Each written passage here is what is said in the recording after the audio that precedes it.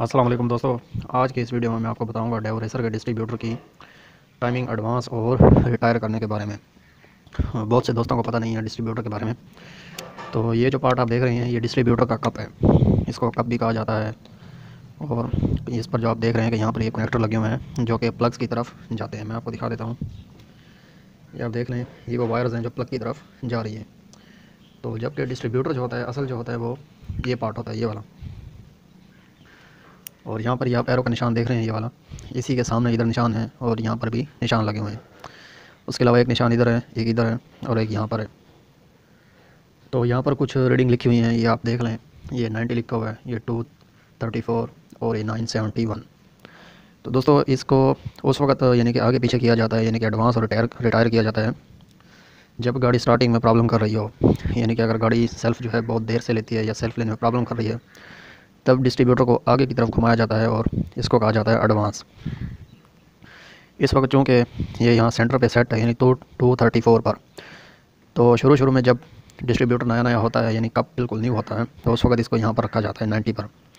जैसे जैसे कप के अंदर मौजूद एक सिक्का होता है, जो कि लड़ का बना होता है, वो आहिस्ता आहिस्ता ख़त्म होता चला जाता है तो डिस्ट्रीब्यूटर को फिर आगे की तरफ़ घुमाया जाता है, इसको एडवांस किया जाता है.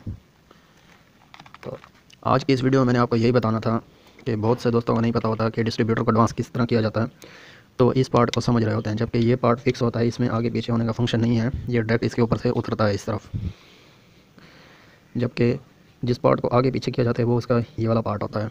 और यहाँ पर नीचे, इस जगह पर एक बोल्ट है, उस बोल्ट को ढीला करने से इसके अंदर जो है मूवमेंट शुरू हो जाती है।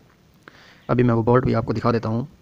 और आखिर में आप सब दोस्तों से कोई छोटी सी गुजारिश है कि आप मेरे चैनल को ज़रूर सब्सक्राइब कर दें वीडियो को लाइक कर दें, इसको दोस्तों के साथ शेयर भी ज़रूर कर दें और साथ में बेल के आइकन को भी दबा दें ताकि आपको नई आने वाली वीडियोज़ के नोटिफिकेशन मिलते रहें। तो आइए अब मैं आपको वो बोर्ड दिखा देता हूँ जिससे कि डिस्ट्रीब्यूटर को ढीला करके आगे और पीछे किया जाता है। जी दोस्तों, ये आप देख रहे हैं सामने इस वक्त। ये है वो बोर्ड जिससे कि डिस्ट्रीब्यूटर को जो है ढीला किया जाता है, यानी कि इसकी मूवमेंट की जाती है। ये आप सामने बोर्ड देख रहे हैं, ये जो मैं आपको दिखा रहा हूँ, इस वक्त ये पेन जिस पर टच हो रहा है, ये वाला।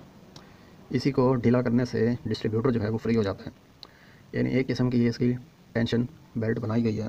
यानी कि इसको टाइट करने से डिस्ट्रीब्यूटर पर जो है टेंशन बनी रहती है और वो अपनी जगह पर टाइट रहता है। जैसे ही हम इस बोर्ड को ढीला करते हैं, ये जो सामने आप बोर्ड देख रहे हैं, ये वाला, ये देख लें, इसको हम ढीला करते हैं तो यहाँ पर जो है मूवमेंट शुरू हो जाती है। यानी फिर आपको, फिर आप जो है डिस्ट्रीब्यूटर को आगे पीछे मूव कर सकते हैं। ये देख लें, मैं आपको क्लोज़ में दिखा रहा हूँ इस वक्त। तो ये है वो तरीका। जिससे कि आप डिस्ट्रीब्यूटर की जो है टाइमिंग जो है एडवांस और रिटायर कर सकते हैं, यानी आगे और पीछे कर सकते हैं डिस्ट्रीब्यूटर को।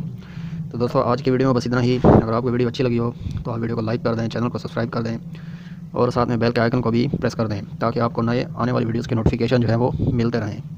मिलेंगे इन बहुत जल्द एक नई वीडियो में। तब तक के लिए आप मुझे इजाज़त दें। अल्लाह हाफिज़।